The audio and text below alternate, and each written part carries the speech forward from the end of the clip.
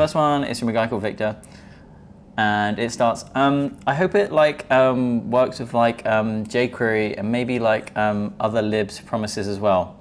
The guy on the right, you, had worse speaking problems than the guy on the left, me. To be honest, I try not to use those filler sounds, even if it makes me silent for a couple of seconds or make me speak more slowly, because those ums and likes are super annoying.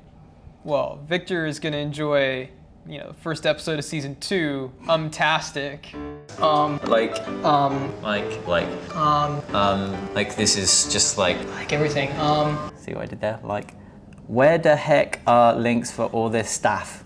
he's looking for staffs. He's looking for staff. Okay. So to be fair, we did actually suck at doing this. We were really good for the Sublime text tips. We had like, um, we had the TT. What was the URL? TTT dot. Totally tooling.tips. So that links to um, a page where we actually had all the videos and we had like a big document. It was super awesome, and then we stopped doing it. So this time we're going to be better. I heart in these how Matt Gaunt has a great idea.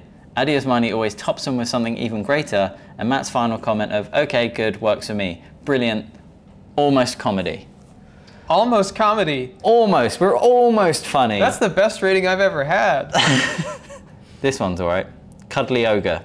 I didn't know about the say command. You have destroyed my productivity. Sorry, we love you, but get back to work. this is why people should watch season two. We change everything. Blow minds. Everything is different. Cliffhangers every episode. So, what's in season two? We are going to do some more Sublime stuff, shortcuts and snippets. Sweet. Windows tooling. Command line stuff. Yep.